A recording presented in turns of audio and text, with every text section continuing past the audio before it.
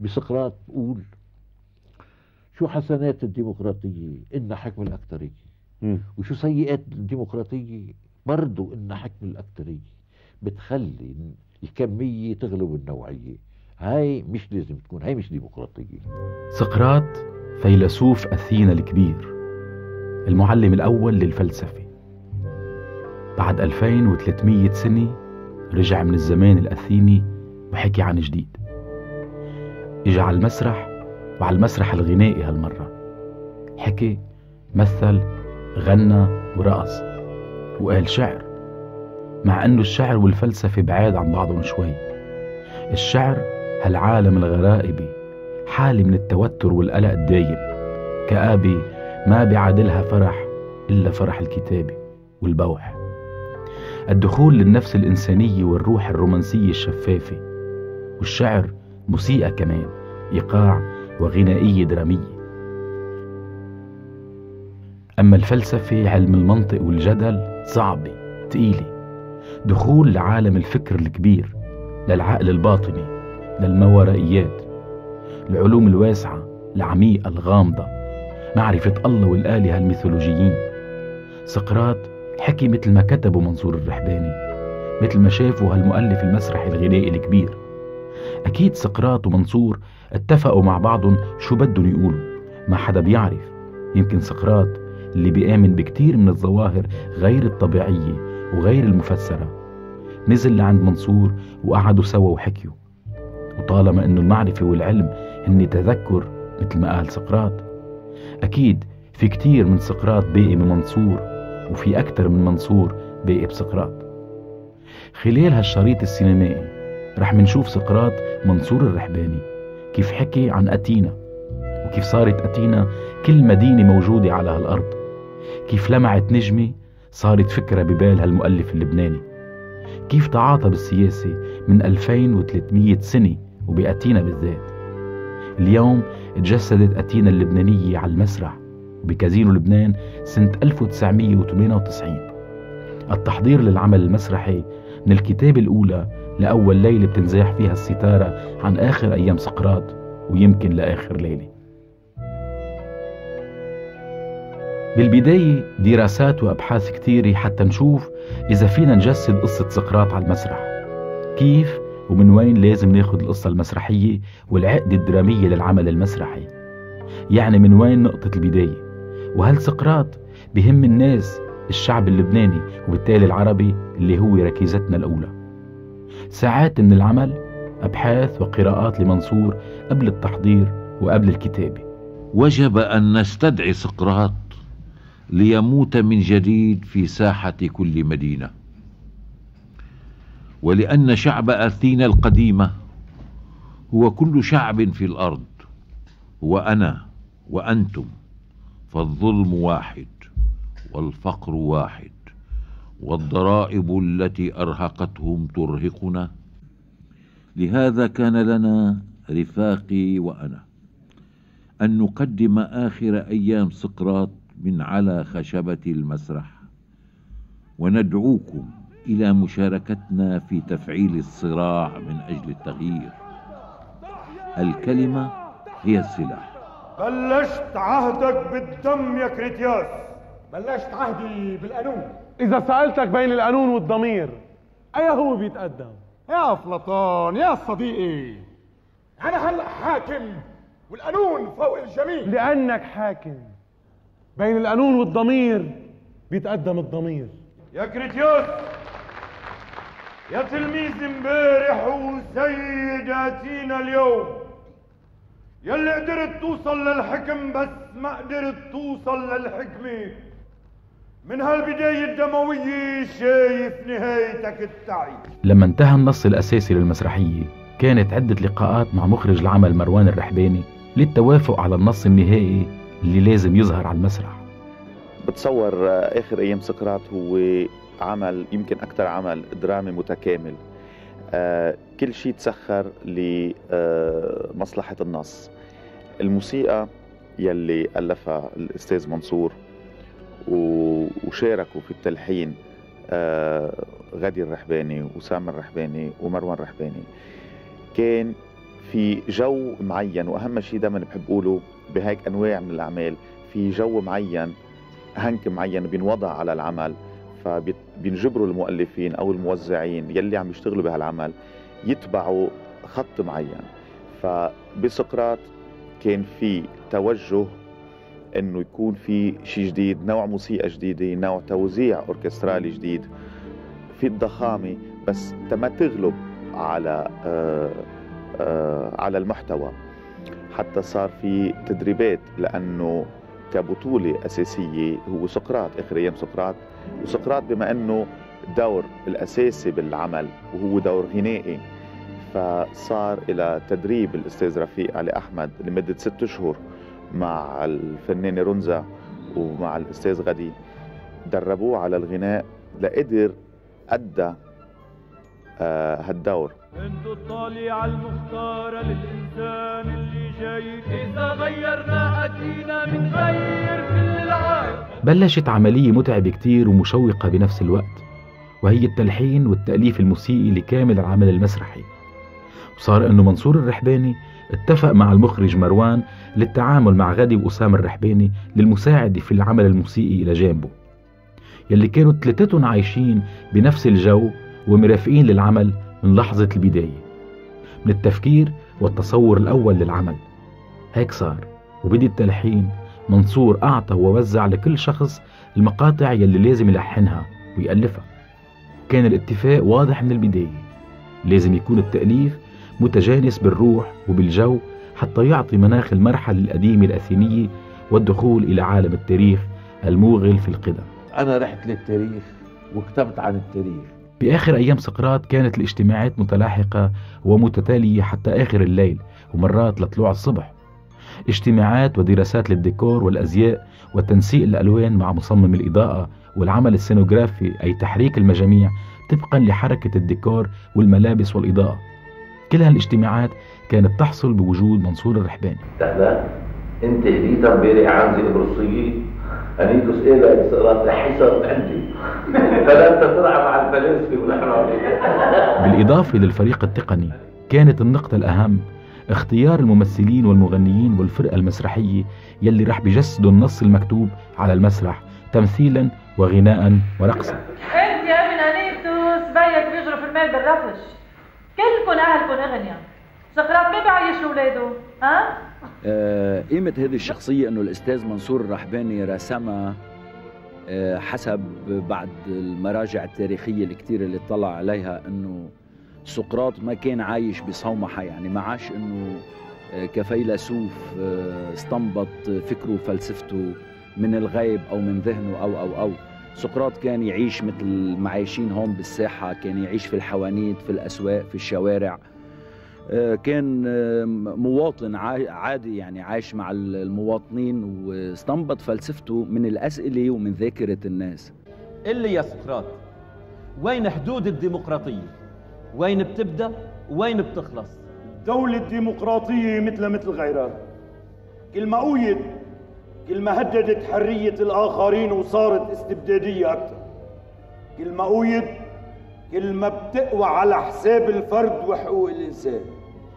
والتفت على هالعالم وشوف أكثر حب منصور يبين آه، جهة عاطفية عند اكزانتيبي و- وألمها يلي من بساطتها يعني وتفكيرها إنه هي اللي وصلت جوزها للموت. عملتوني مجرمي حطيتوا برقبتي دم هالرجال العظيم. هلا أنا السبب بقتل جوزي. اختيار الفرقة الراقصة كان من الاختيارات الصعبة لأن الرقص بيتطلب مهارة بالإداء الراقص والمسرحي. شباب وصبايا تقدموا للعمل وتم اختيار الفرقة الراقصة مع مصمم الرقص والكوريوغراف. وطبيعي طالما عم نحكي عن عدة أنواع رقص وجب يكون في مصمم آخر لنوع من الدبكات والرقص الشرقي وكان على كل الفريق العامل إنه يرقص حتى الممثلين الكبار. كوريغرافي جماعية يعني مش بس الرقص عم بيشتغل هلا أكيد الرقص عنده حركات أصعب بس المجموع المجموعة كلها عم تشتغل. ما بعرف إذا بتلاحظ بأول مشهد الكل حتى هدى عم عم ترقص وعم تشتغل بآخر أيام سقراط كانت رؤية المخرج تحريك الجميع على المسرح. بحركة إذا ما كانت راقصة فينا نقول فيها كتير من التعبد أو التضرع يعني حركة مسرحية كوريوغرافية حتى تجسد المناخ والجو المطلوب للعمل المسرحي الكبير. في كثير مشاهد فيها حركة تمثيلية. بداية المسرح مثل الفينال مثل آخر الفصل الأول الشيء الجديد والعلامة الفارقة بآخر أيام سقراط هي الموسيقى يلي تم تسجيلها بكييف في أوكرانيا وهون لازم نتوقف شوي عند هالنقطة. التأليف الموسيقي كان كتير ضخم. بده آلات مش موجودة عندنا. رحنا على كيف حتى سجلنا مع أوركسترا سيمفونية. مشكلتنا نحن بلبنان مفقودة وما عندناش أوركسترا سيمفونية. اضطرينا نروح على كيف؟ وليش كيف؟ لأنه تحافظ على جودة العزف. مثل ما سمعتوا استقر الراي على كييف وسافر منصور مع غدي وأسامة سفرة السندباد إلى كييف لتسجيل الموسيقى. عدة مفارقات حصلت أما النتيجة ففائت كل تصور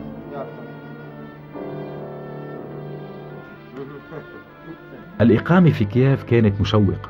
الحرارة 30 تحت الصفر والشتي ببلاد الدبب الروسية قاسي وما بيرحم منصور الرحباني اللي كان عتلان هم السفرة اكتشف بالمدينة عالم من الجمال التراث العريق التاريخ اللي ماشي مع نهر الدنيبر هالمدينة اللي احترقت عدة مرات ورجعت من رمادها تقوم وتقرر العيش مثل شي طائر فينيق وأكيد الأكل والمطاعم الجيدة لاكتشاف حضارة وتاريخ هالبلد كان في اجتماعات بالأوتيل مع قائد الفرقة الموسيقية فلاديمير سيرينكو إعطاء الملاحظات في التسجيل وحتى الشريعة والأخناق مع غدي أسامة وأكيد في الاستوديو مع الفرقة الموسيقية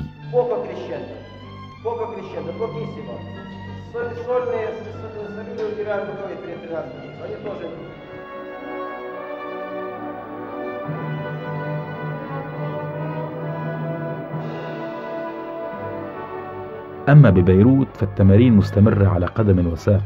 تمارين الرأس تحفيظ الكورس قراءات التمثيل وأكيد التحضير للملابس. تصنيع الديكورات تركيب الإضاءة والاتفاق مع شركات أجنبية لإستئجار المعدات المطلوبة للإضاءة للمؤثرات المرئية. التسجيل الموسيقي بالطبع بده يتلاحق بتسجيل الكورس والغناء مع المطربين المشاركين بالعمل.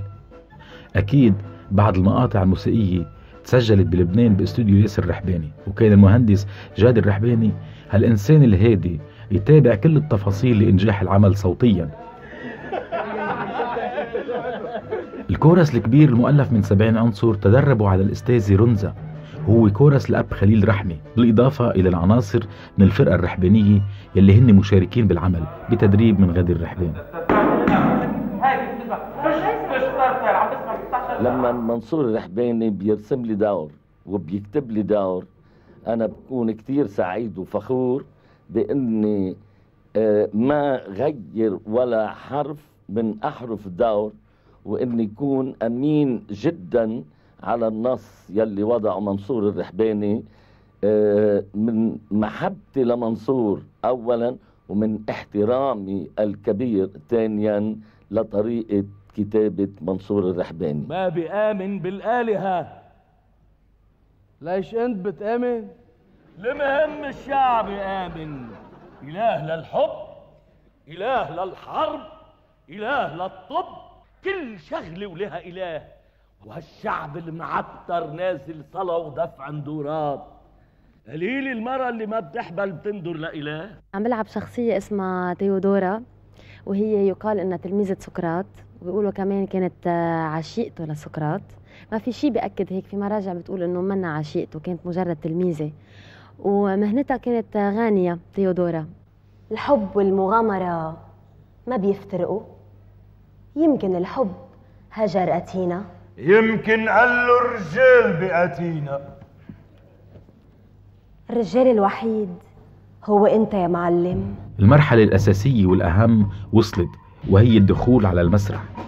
هالعالم الكبير الغريب المسرح مثل البحر موجه كل لحظة بيتغير بس عملية التغيير هي نفسها. نفس الموج بيجي يفقش على الشط لكن المشاهد مش كل يوم هو ذاته. كل يوم ناس جداد وانت الواقف على المسرح بدك تعطي بنفس الإيقاع والتوتر والحماس بنفس الهدير العاصف بقلبك. تمارين كل يوم من المساء للصبح تمثيل رقص تغيير ديكور التكيف مع الملابس والأكسسوارات غناء تحريك المجاميع وأكيد الإنتاج له كلمة هون.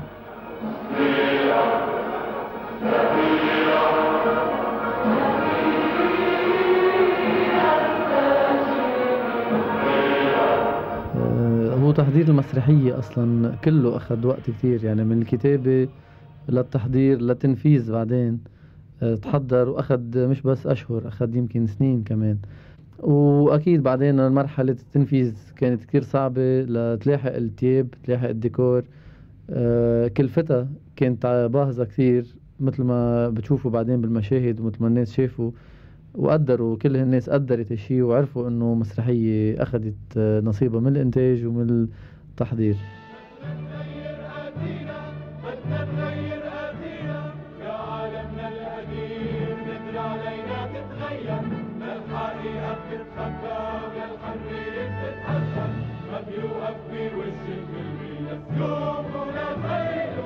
سلمت النص و...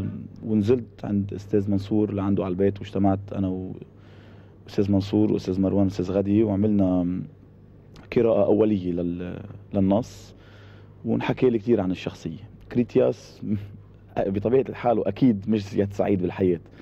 آه كريتياس هو أحد تلامذة سقراط آه يلي مثقفين جدا من حزب الأوليغارشيان طبقة غنية بقلب أتينا.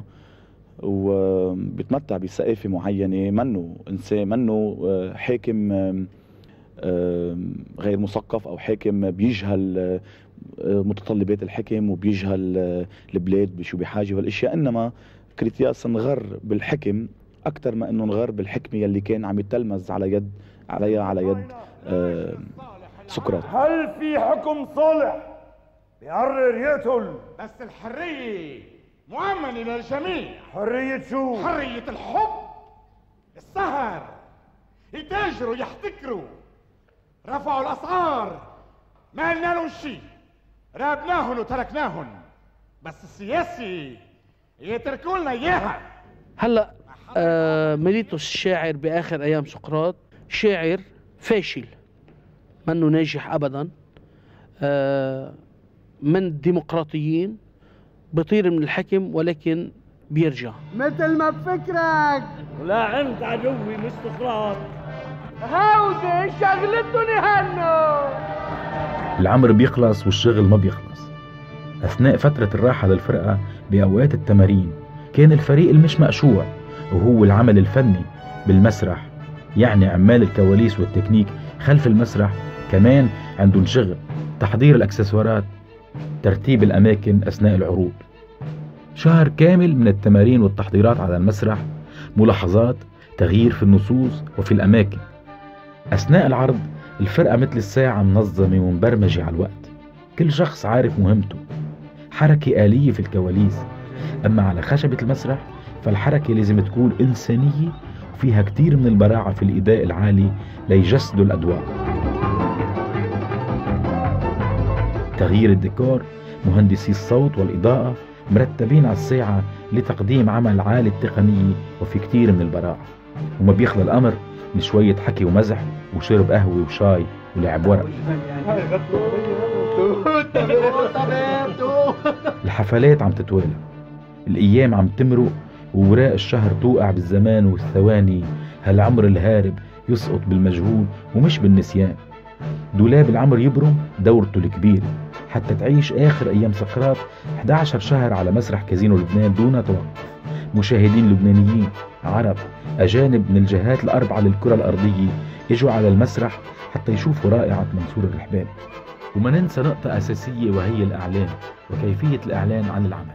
بموضوع الإعلام آه، العمل بيبدأ التحضير له كمان خلال التمارين. يعني الرحابني كمان تعودوا بشغلة إنه بيتحملوا النقد بشكل كتير إيجابي. أنا عشت معهم فترة وكانوا هن يجيبوا جماهير خلال التمارين ليسمعوا رايها وبالتحديد بحبوا يتعاونوا كمان مع وسائل الإعلام لحتى يسمعوا نقدهم ويبنوا أوقات على هالنقد آه، إذا بدك إعادة نظر حتى بكتاباتهم. يعني هي شغلة كثير مهمة بمسرح الرحباني. دق السنيال التالي. صارت 8 ونص. الكل عم يتحضر ورح تفتح الستار. خلص اللي بدنا نقوله. الكلمة الأخيرة لمنصور. أنا بدي أشكركم. رح يصيروا سنة واشتغلنا مع بعضنا. كنتوا كتير مثال النشاط والحيوية وسجلتوا نصر كتير حلو. كلكم ما بستثني حدا منكم.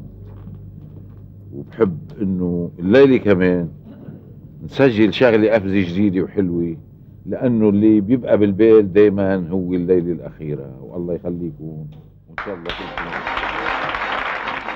وانتقلنا لخارج لبنان لتقديم العمل في المسارح العربية. وانتقل فريق العمل الكبير من كازينو لبنان إلى مصر القاهرة حتى تتقدم آخر أيام سقراط على مسرح دار الأوبرا مصر دولة كبيرة فنيا وشعبيا واقتصاديا وحضاريا وصحفيا تكاد تعتبر من أكثر الدول العالم بعدد الصحفيين والنقاد. بس كبداية شوفوا شو صار على المطار عند استقبال منصور الرحباني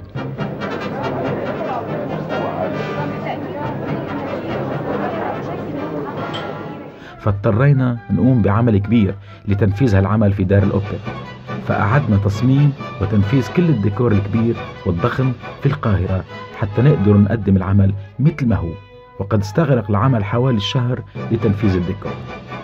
كانت حفلات القاهرة ناجحة جدا وأثنى الجميع على الإتقان والبراعة وكيفية تداخل الفلسفة بالمسرح بهالطريقة الدرامية التي تجري فيها أحداث القصة. وقدمنا ست عروض كانت حديث القاهرة لا ده العظيم إنه تقدمت مثل الكازينو نفسها هنا. إنه اشتغلوا يعني جهد جبار الأوبرا. عملوها نفسها مثل الكازينو. ده أحسن شيء معقول يصير يعني. العمل الأصلي.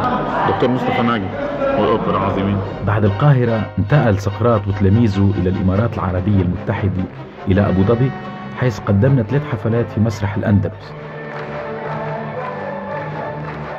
آخر أيام سقراط عمل كبير متقن وجميل جدا. سكن صفحات التاريخ البيضاء مثل ما سكنها قبله فيلسوف أتينا العظيم. سقراط يلي افتدى حياته للحقيقة وكان الشهيد الأول للتفتيش على الحقيقة مثل ما قال منصور إذا لم يوقع الإنسان على كلامه بدمه لا يثبت هذا الكلام. الدم حبر الحقيقة.